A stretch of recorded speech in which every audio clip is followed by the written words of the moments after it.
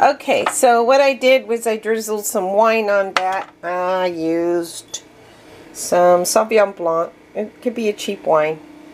And so, of course, some of the, the, the butter and all the oils are going to fall off. So I re-seasoned it with a little bit of sea salt and no more chili.